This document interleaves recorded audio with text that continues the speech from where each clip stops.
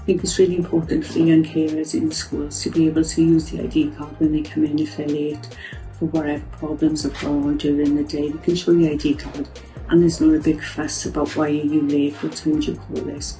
It's just easing them in and giving them an easier way to access being into school late. It is good to identify people as young carers that may not necessarily know that they're young carers. So obviously working in this charity, which Young Carer Centre, I think we being aware of that this ID card is available for young carers and offering that to all our new referrals is something that can help them come to terms with the fact that they are a young carer. So mae'n bwysig bod ni'n cael cynabyddiaeth ffurfiol a bod disgyblion ddim yn teimlo fel bod nhw'n gorfod ailadrodd i stori tro ar ôl tro.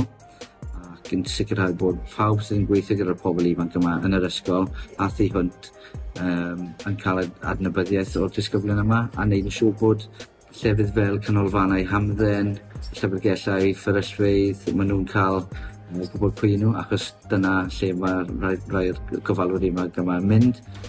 It also helps if problems arise and they have to have unauthorised absences. It can be discussed why they're having the time off, what, was the cause of the problem, if they need further support, and we can identify them with whatever support you need just by showing the card.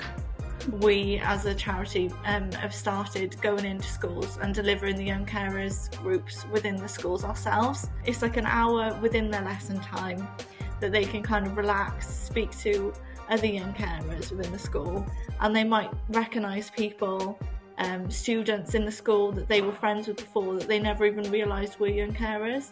So it's nice for them to identify other young carers that they can kind of speak to within the school as well as the staff members that they can go to for help as well.